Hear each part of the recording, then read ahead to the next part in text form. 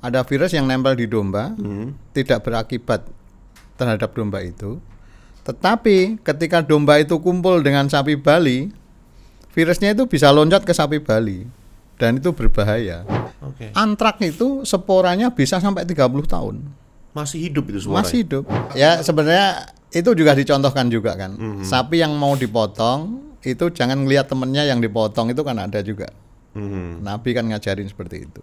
Jangan, jangan dilihatkan. Mhm.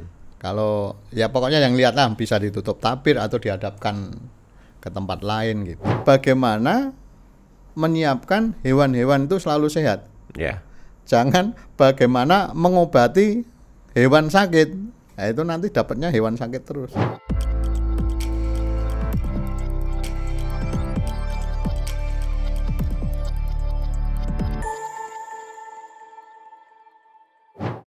Assalamualaikum warahmatullahi wabarakatuh Liners yang ada di rumah kita bertemu kembali tentunya di Line Stock yang akan memberikan inspirasi kemudian juga informasi kepada liners yang ada di rumah yang insya Allah penuh dengan eh, informasi yang barokah, edukasi yang barokah. Kali ini masih bersama saya Dika Saputra dan eh, berbicara tentang Hari Raya Idul Adha ini sudah sebentar lagi. Maka yang paling identik dengan Hari Raya Idul Adha itu adalah penyembelihan hewan kurban. Lantas bagaimana penyembelihan hewan kurban kemudian melihat eh, spesifikasi dari hewan kurban yang baik, yang terhindar dari penyakit dan lain sebagainya. Kami akan membahasnya bersama dengan eh, narasumber kami yang sudah hadir di studio Linestock. Ada dokter hewan Bapak Mugiono. Halo Pak, selamat datang di Linestock. Halo, selamat datang. Assalamualaikum. Waalaikumsalam warahmatullahi wabarakatuh. Oke, eh sapi-sapi kita masih aman terkendali sekarang, Pak? Alhamdulillah Alhamdulillah ya, sehat semua. sehat semua ya. Yang di kandang saya ya. nah itu yang perlu jadi untuk liners yang ada di rumah yang ingin mencari sapi ke kandang Pak Mugiono aja langsung. Nah eh, kita berbicara Pak sebelum panjang lebar ke mana-mana kita akan berbicara sebenarnya kalau kita hewan kurban secara ilmiahnya ini kan eh, sekitar dua tahun kemarin itu banyak sekali informasi mengenai penyakit mulut dan kuku. Kalau eh, menurut Pak Mugiono sendiri ini sebenarnya kenapa Pak? Penyakit mulut dan kuku itu kenapa bisa terjadi ya karena ada virusnya gitu loh. Hmm. Sejarahnya penyakit mulut dan kuku itu Indonesia sudah hampir bebas ya. Hmm. Dari tahun tahun 86 87 itu sudah dinyatakan bebas. Jadi ketika saya masuk Fakultas Kedokteran Hewan itu saya hanya mendengar ceritanya bahwa dulu ada penyakit mulut dan kuku. Oke. Jadi saya tidak tahu kenyataannya penyakit itu. Hmm. Saya hanya membaca sejarahnya. Dan Indonesia termasuk negara yang dinyatakan bebas Di tahun 2000? dari tahun 87 itu. Oh 87. Ya. Oke. Sehingga ada syarat-syarat bebas tuh macam-macam termasuk tidak boleh impor sapi dari negara yang tertular PMK. Mhm. Itu ada asosiasinya. Nah, nggak tahu kenapa dua tahun yang terakhir itu tahu-tahu muncul wabah PMK. Oke. Nah, itu berarti ada eh yang bawa, Artinya ada yang impor bawa, ya. ada yang bawa virus masuk ke Indonesia itu ada. Oh. Nah, nggak tahu siapa, Hmm, hmm, hmm. nggak tahu siapa. Karena dari 87 ke 2022 ya, Hmm. itu kan cukup cukup lama. Lama sekali itu ya. lama 87 ke 2000 aja berapa tahun 13 tahun ya Hmm. 13 tahun ditambah 22 tahun 37 tahun kita aman Nggak ada yang namanya virus. enggak enggak pernah enggak pernah dan ketika saya dapat kabar oh ada PMK kita kita dokter hewan tuh nggak percaya Hmm. betul nggak itu PMK betul itu loh Oke. kita nggak percaya apa iya sih sebelum kita melihat betul kan kita nggak nggak boleh Mhm. jadi itu baru istilahnya suspek lah Mhm. di diduga kita nggak boleh menyatakan bahwa itu PMK sebelum memang tahu-tahu tahu benar bahwa itu PMK Oke. karena itu termasuk kalau ada ya termasuk kejadian luar biasa dan benar tahun 2022 itu PMK beneran Hmm. PMK beneran dan PMK itu sangat merugikan peternak ya Iya.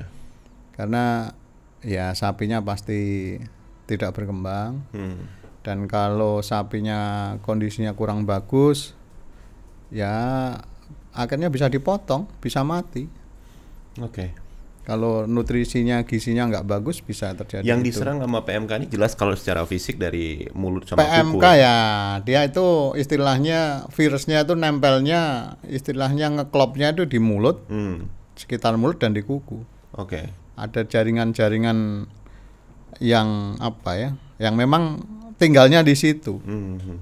Makanya dikatakan penyakit mulut dan kuku. Oke. Nah, kalau udah masuk ke mulut, mulutnya mengalami gangguan, sapi nggak bisa makan. Pasti sapi kurus. Hmm. Kemudian kalau nempel di kakinya, kakinya itu bengkak, dia nggak kuat berdiri, sapi roboh. Hmm. Nah, itu yang merugikan itu. Tapi secara secara daging masih bisa dikonsumsi. Oh dagingnya aman itu pak? Aman. Oke. Di secara ya dimasak secara normal masih diperbolehkan, nggak Hmm, apa-apa. Nah, artinya kalau kita melihat dari traffic eh, naik tidaknya pada tahun 2022, ada kemungkinan Hmm. naik nggak pak untuk di tahun 2024 ini? Atau justru sekarang udah tidak Kalau lagi? PMK itu kemarin tuh muncul lagi, kemarin muncul lagi. Karena Hmm. kalau sudah terserang suatu negara sudah kena PMK, itu semuanya harus divaksin total. Oke. Nah, Indonesia kan sangat luas banget, Mhm. Sangat luas banget dan eh, kadang-kadang ada peternak yang bahkan enggan untuk divaksin. Nah, kalau yang begitu itu ya agak repot, agak repot. Padahal untuk eh, menekan angka itu ya memang harus vaksin. harus solusinya. vaksin, harus vaksin. Karena virus itu kan muncul ada kan, ada di saat hewan ternak itu kondisinya prima, kuat, dia nggak nggak menimbulkan masalah. Oke. Tapi Um, ketika dia kondisi ini drop, turun, baru dia bermasalah. Kemudian dari beberapa peternak gitu yang memang tidak mau untuk divaksin sebenarnya alasannya kenapa Pak? Karena memang berbayarkah atau seperti apa? Eh sebetulnya yang vaksin itu ada yang berbayar, ada yang enggak. Cuman kadang-kadang ada ada ada ada apa namanya eh petani atau peternak yang merasa sok pinter atau dia punya pendapat sendiri nggak mau divaksin bisa juga. Oke.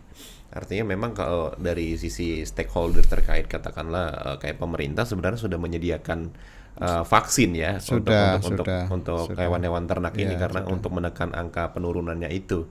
Kemudian kalau dilihat dari eh, PMK lah salah satu penyakit yang memang eh, kerap menyerang lah di dua tahun terakhir.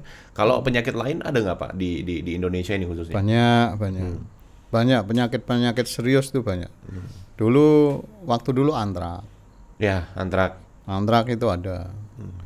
Antrak itu penyakit yang ya lumayan juga Hmm. dan itu menular. Kalau PMK sih nggak menular ke orang ya. Ya, ya, ya. Kalau antrak itu menular, ya itu berbahaya. Oke. Kemudian yang baru-baru ini juga eh, saya mendapatkan informasi juga Pak di daerah Sumatera Selatan itu eh, yang terkena penyakit ngorok atau SE. Ya. Nah, kalau ini nih sebenarnya kenapa Pak? Apakah memang dari dia makan yang sembarangan di tidak tidak tidak diperhatikan atau bagaimana Pak? Ya itu karena karena ada ada sumber penyakitnya itu, Hmm. Ada penyebabnya itu. Nah, dalam saat kondisi jadi eh, kenapa bisa terjadi penyakit itu kan sebenarnya ketika eh, hewan itu kuat prima itu dia nggak akan sakit Oke. karena dia punya kekebalan ya. Hmm. Nah, ketika kekebalan tubuhnya itu turun, kondisi tidak prima, nah hewan itu sakit. Oh. Itu loh. Dan kejadian itu kita nggak nggak paham, nggak tahu ya. Hmm. Tapi yang mestinya kita harus bisa menyiapkan bagaimana hewan-hewan itu selalu dalam kondisi prima. Oke. Itu salah satu kuncinya di situ. Nah, kalau eh, hewannya itu nggak pernah kita awasi, jarang diawasi, ditanya anu ya, diumbar gitu ya. Ya. Itu kan ya orangnya nggak pernah ngelihat istilahnya. Hmm. Tahu-tahu lulu tahu-tahu mati. Sebetulnya bukan tahu-tahu mati, ada tanda-tandanya pasti ada. Hmm. Oke, artinya memang ha- sebagai peternak harus benar-benar memperhatikan itu ya. Betul. Sehingga kita juga bisa tahu, oh ternyata hewan kita eh, terkena indikasi virus nih gitu ya. Yang paling gampang lihat itu sapi itu kalau mengalami lemah, terus apa ya, nafsu makan turun, itu udah tanda-tanda. Itu harus dapat perhatian. Kenapa dia nafsu makannya turun? Kenapa dia lemah? Itu harus segera diberikan penanganan. Oke, oke, oke. Artinya sebenarnya balik lagi ke peternaknya harus lebih teliti Betul, gitu ya. ya. Oke, oke. Kemudian Pak, kalau seumpamanya nih kita karena mendekati Idul Adha kan, artinya mencari hewan kurban seperti itu. Eh, terkait dengan beberapa virus dan penyakit yang ada di eh, hewan tersebut, Ya. eh, mungkin Pak bisa dikasih tips dan triknya seperti apa untuk mencari hewan kurban yang baik dan sehat ini seperti apa Pak? Kalau tip trik untuk mencari hewan yang sehat itu sebenarnya ya sama aja bagaimana kita melihat orang sehat dan orang tidak sehat gitu loh. Jadi kalau hewan sehat itu tentunya dari eh, performanya dia pasti sehat. Sehat itu dalam arti dia lincah, tidak tidak apa ya, tidak lemah, kemudian tidak murung, tidak sedih. Hewan juga bisa sedih. Hmm. Kelihatan itu. Oh, kelihatan eh, ya seperti orang lah. Mhm. Kalau orang flu itu kan agak Nggak enak gitu nggak ya. enak. Oke, oke. Kemudian sama hewan juga menunjukkan hal-hal yang sama seperti orang ketika mengalami sakit. Mhm. Gambarnya seperti itu kalau kalau kita ngasih ngasih tip dan trik seperti itu. Lihat aja orang sehat itu seperti apa, hewan sehat ya seperti orang. Sama itu Pak. Sama. Karakteristiknya. Sama, sama. Oke. Jadi eh, hewan itu kan makhluk hidup. Hmm, Kita juga makhluk hidup. Orang kan makhluk hidup. Jadi tanda-tanda sehat itu sama lah. Mhm. Dan perlu diketahui bahwa obat-obat yang dipakai di manusia itu biasanya dicobakan di hewan 5 sampai 7 tahun baru dimasukkan ke ke orang. Oke. Makanya eh, secara secara umum kesehatan di di makhluk hidup, di ternak atau di hewan itu dengan manusia mirip, Hmm. mirip-mirip. Oke, artinya memang eh, tipsnya untuk liners yang ada di rumah yang ingin mencari hewan kurban ya perhatikan dari sisi kelincahan ya kan, kemudian kemurungan dan lain sebagainya Ya, gitu. Ya. lihat kebersihannya. Kalau Kebersihan. kebersihannya itu sama. Ada orang yang rajin mandi sama sapi yang nggak rajin dimandiin gitu aja. Sama. Ngaruh juga ya gitu. Ngaruh, ya. Saya minum Oke. dulu, Pak. Iya iya silakan Pak. Artinya memang eh, sebenarnya eh, simple aja triknya ketika kita melihat Simple hewan aja. itu ya sama seperti manusia gitu. Betul. Oke oke. Kemudian untuk indikasi misalkan kalau kata bapak tadi misalnya sudah terkena penyakit, apakah dia masih bisa menjadi hewan kurban? Karena dagingnya tadi kan kalau uh, PMK tadi masih bisa dimakan gitu. Ba- sebaiknya seperti apa pak? Ya kalau dia sehat bisa untuk korban. Kalau dia sudah sehat, dia dia dia lolos lolos dari PMK itu dia cenderung sehat, nggak masalah, Hmm. nggak masalah. Oke, artinya boleh ya. Boleh nggak masalah. Oke oke oke. Kemudian eh, banyak juga yang antara sapi dan juga kambing gitu. Hewan kurban yang dikurbankan antara sapi dan juga kambing. Kalau dari dari sisi apa ya? Dari sisi kesehatan kayaknya yang paling lebih lebih riskan untuk untuk untuk me- apa mendapatkan penyakit itu sapi atau kambing atau sama saja, Pak? Sama saja, sama saja. Oh gitu ya. Ya sama saja. Ja- Berarti kambing juga Kambing juga banyak penyakitnya ada. Bahkan kambing sama domba beda ya. Kambing sama domba beda. Jadi ada virus yang nempel di domba yang berpengaruh kepada sapi, khususnya sapi Bali. Oke. Jadi domba itu ada virus yang nempel di domba, Hmm. tidak berakibat terhadap domba itu. Tetapi ketika domba itu kumpul dengan sapi Bali, virusnya itu bisa loncat ke sapi Bali dan itu berbahaya. Oh. Itu yang dikenal dengan penyakit eh, jembrana. Hmm. Jadi kenapa dikatakan penyakit jembrana? Karena itu dulu kejadiannya ter- pertama kali di Jembrana Bali. Hmm. Dan sampai sekarang penyakit itu ada. Dan Apakah belum dia hanya untuk sensitif ke sapi Bali saja? Betul, sensitif ke sapi Bali. Sapi yang lainnya tidak. Yang jelas sapi Bali sangat sangat sensitif. Makanya di di Bali tidak boleh ada domba. Oh. Di daerah Kupang domba nggak boleh masuk karena di, ada indikasi virus yang nempel di domba itu. Artinya sesensitif itu ya kalau di Ya. daerah-daerah Kupang dan juga Bali ya. Tapi, Betul. Dan kadang-kadang eh, ada orang yang nggak percaya, Hmm. ah masa iya sih. Jadi teman saya pernah ngalamin kerugian yang luar biasa karena dia ternak domba dan dia mendatangkan sapi Bali. Mhm. Dalam kondisi sapi yang gemuk itu bisa mati mendadak Karena virus itu tuh. karena virus itu. Oh. Bisa mati mendadak. Itu yang diserang apa, Pak? Kalau PMK kan jelas kuku dan sama mulut. ya? sama dia yang diserang itu eh, pencernaan dan pernapasan Hmm. pencernaan dan pernapasan dan saya juga pernah ngalami itu saya sudah apa ya mencoba untuk bagaimana mengatasi penyakit itu dan tidak berhasil Hmm, hmm. saya juga pernah mengalami jadi ada kalau udah kena itu paling-paling hanya bisa di anu ya diatasi oh turun suhu badannya turun bisa ini. Cuman akhirnya mati juga. Hmm. mati juga. Oke. udah segala upaya lah istilahnya. Dan kesimpulannya sampai sekarang untuk mengatasi cemberana itu ya artinya jangan deket-deket domba lah Oke, tidak boleh dikumpulkan sama ya, domba gitu jangan ya. Hmm. dengan sapi Bali itu jangan dekat domba.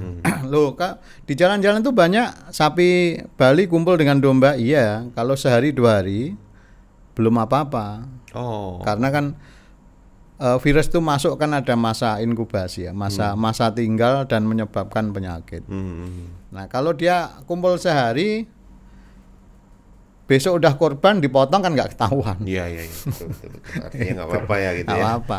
Tapi kalau dia kumpulnya itu sebulan, Hmm. dua bulan, Hmm. nah seminggu dua minggu ini baru, oh ada gejala baru kena. Oke, oke, oke.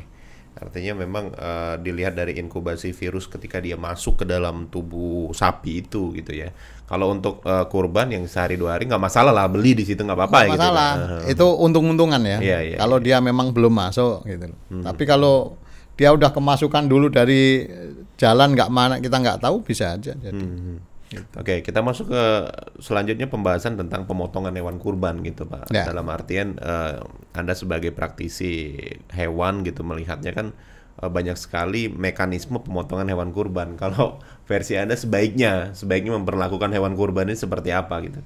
Hmm, ya, kalau bagaimana memperlakukan hewan kurban ya sebagaimana yang dicontohkan Nabi ya di hadisnya itu salah satunya pisaunya harus tajam. Artinya ya mensejahterakan yang mau dipotong. Hmm.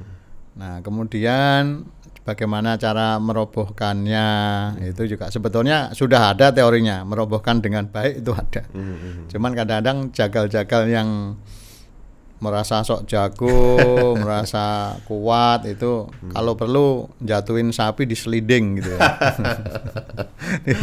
ini biasanya jagal tahunan, Pak, biasanya. Eh, ya karena karena dulu dulu itu modelnya memang kakinya diikat dibanting gitu. ya.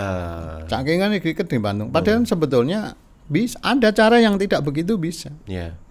istilahnya dengan diikat apa eh, perutnya dari depan ke belakang ditarik dia pasti roboh Hmm. sekuat apa pun sapi pasti roboh Hmm. ada teorinya itu Iya, iya, iya. cuman kadang-kadang jagal dikasih tahu merasa sok pinter nggak mau pakai teori itu Jadi pakai teori yang terlihat lebih perkasa gitu ya. Iya padahal sebenarnya kalau kalau cepet-cepetan cepet yang itu Iya. tinggal tarik set, pasti roboh dan aman gitu loh Hmm.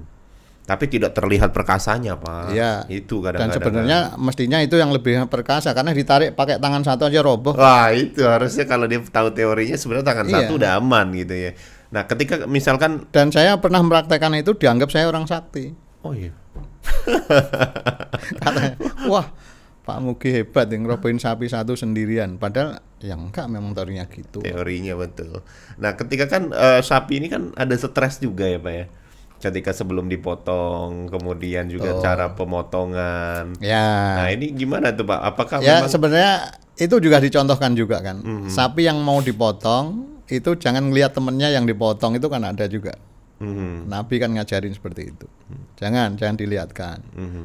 Kalau ya pokoknya yang lihat lah bisa ditutup tabir atau dihadapkan ke tempat lain gitu. Ya, ya, ya. Salah satu salah satunya itu. peri kehewanan lah. Peri kehewanan ya, peri, peri persapian ya. Nah, ketika dia stres itu apakah nanti berpengaruh ke dagingnya, Pak, atau tidak? Oh iya. Pengaruh Iya, itu ya, Pak? Pengaruh, pengaruh. Tapi bagi yang tahu, Hmm. bagi yang tahu. Cuman kalau orang itu nggak pernah lihat daging ya, dianggap biasa aja. Tapi sebenarnya ada pengaruhnya ada. Aha, Ada pengaruhnya. Oke. Harusnya lebih baiknya di- dijaga kenyamanannya ya sapi Betul, sebelum dipotong. Oke, oke, oke. Iya. Terkait dengan pembuangan, pembuangan apa namanya? eh, darah dan lain sebagainya ini Mm-hmm. harusnya mekanismenya seperti apa yang baik, Pak? Ya kalau kalau hewannya sehat itu kan Hmm. aman lah, relatif aman. Tapi kalau hewannya itu mengandung penyakit, makanya paling enggak motong itu darahnya juga harus ngumpul satu tempat Oke. dan dikubur. Itu. Karena karena ada penyakit yang sampai 30 tahun itu yang namanya eh, sporanya itu belum mati, ada. Walaupun itu dikubur, Pak. Iya, Oh, itu ada. oke. Antrak itu sporanya bisa sampai 30 tahun. Masih hidup itu suaranya. Masih hidup. Nah, ketika itu dia masuk ke eh, ke, tern- ke sapi atau yang yang rentan lah ya, yang berkuku genap itu Hmm. bisa menjadikan terjadi antrak itu. Oh. Makanya lumayan lumayan juga gitu, lumayan apa ya? Lumayan mengerikan. Makanya kan ada ada bom antrak ya, bom biologis apa itu?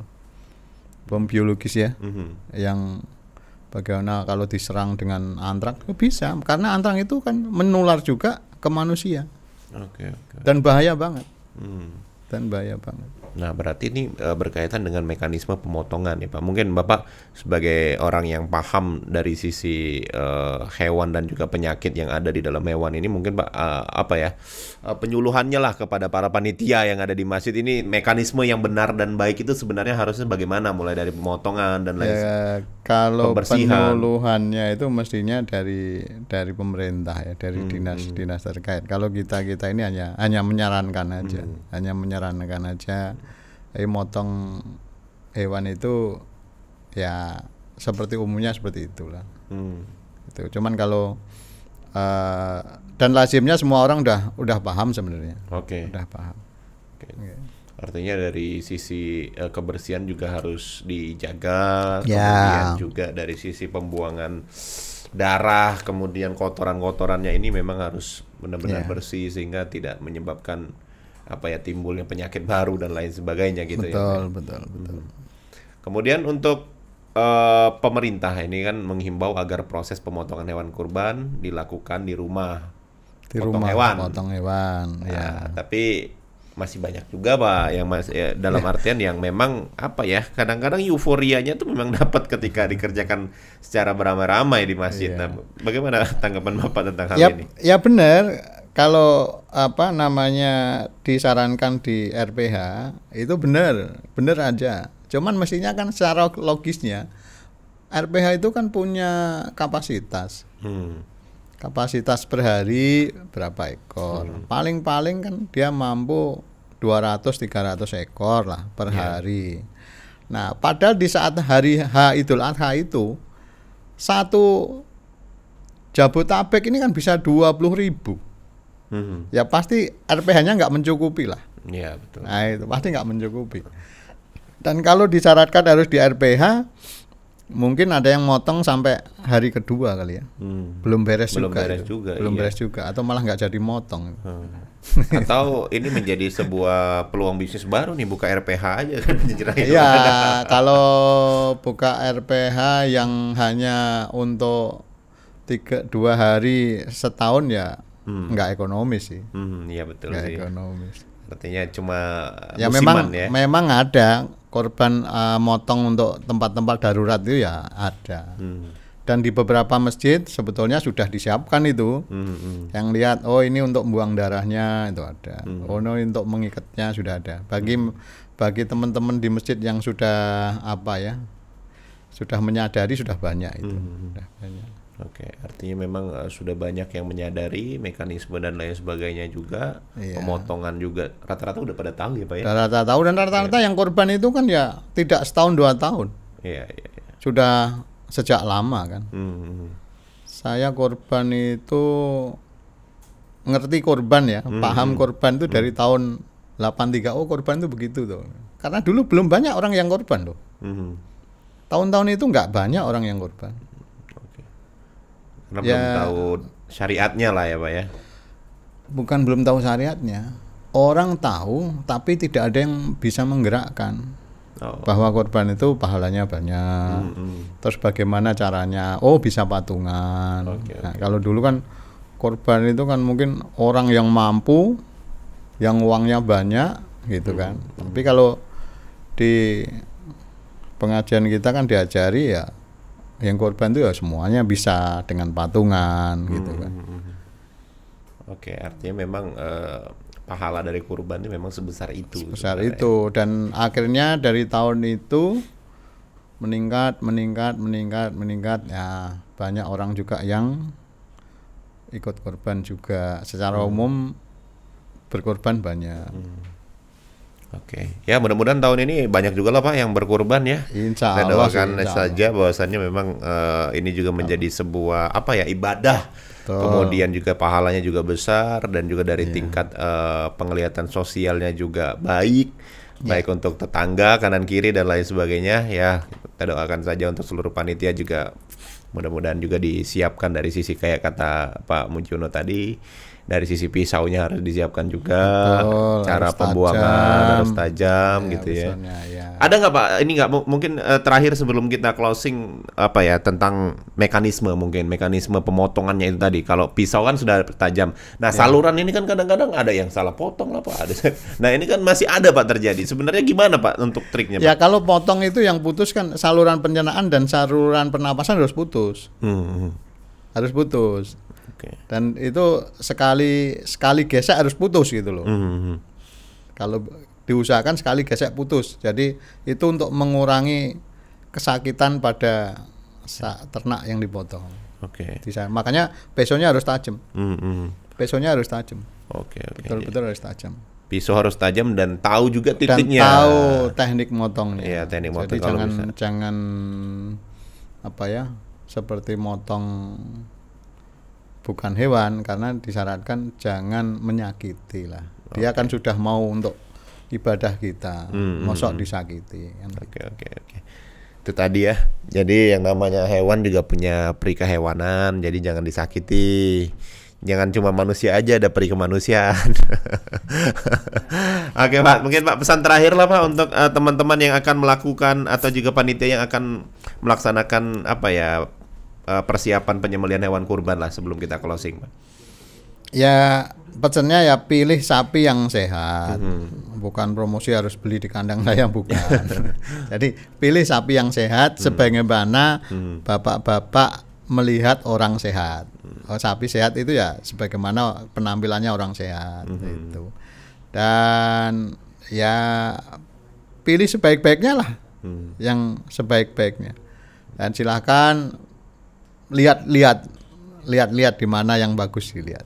Oke.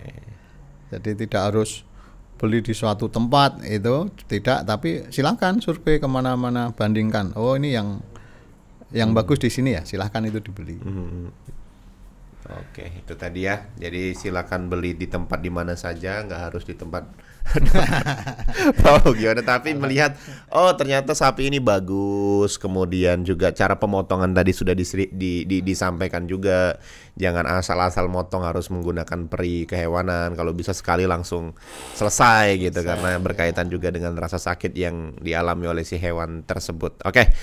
Terima kasih, alhamdulillah jazakallah khairan. Amin. Pak Mogiono sudah luar biasa memberikan uh, pandangan-pandangan Bapak sebagai seorang praktisi hewan untuk pemotongan hewan kurban pada uh, Idul Adha tahun ini. Nanti kapan-kapan kita ngobrol tentang penyakit hewan lain lagi nih Pak. Oke. Boleh Pak. Tapi kalau saya sarankan jangan mengobrol tentang penyakit. Apa tuh Pak? Ya kita mengobrol tentang kesehatan. Kesehatan Jadi, hewan ya. Kalau kita ngobrolnya penyakit nanti dapatnya penyakit. Enggak juga dong Pak, itu kan diantisipasi Pak. Enggak, sama-sama. Itu Oh, gitu itu pemikiran. Jadi Hmm. kita saya sebagai dokter hewan, Mhm. saya menyarankan saya nggak mau mengobati. Tapi saya mengusahakan ternak itu sehat. Mhm. Kalau kita mengusahakan ternak itu sehat, berarti nggak ada ternak yang sakit. Ya, Jadi betul. kita nggak usah ngobati.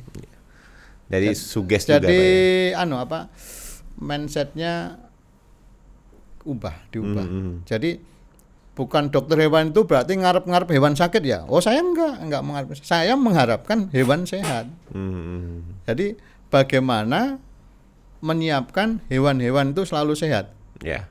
Jangan bagaimana mengobati hewan sakit. Nah, itu nanti dapatnya hewan sakit terus. Oke oke oke. Tapi kalau kita menyiapkan bagaimana hewan-hewan itu sehat, ya dapatnya hewan sehat dan nggak ada hewan sakit. Mhm. Itu. Oke deh. Next time kita akan membahas tentang apa? Bukan penyakit ya, Nah, kesehatan tapi hewan. kesehatan hewan. Iya. Oke, terima kasih. Alhamdulillah jazakumullah khairan untuk liners yang ada di rumah sudah menyaksikan tayangan ini. Jangan lupa dukung terus akun ini dengan cara like, komen dan juga share sebanyak-banyaknya. Kita akan bertemu kembali di episode berikutnya. Assalamualaikum warahmatullahi wabarakatuh dan sampai jumpa.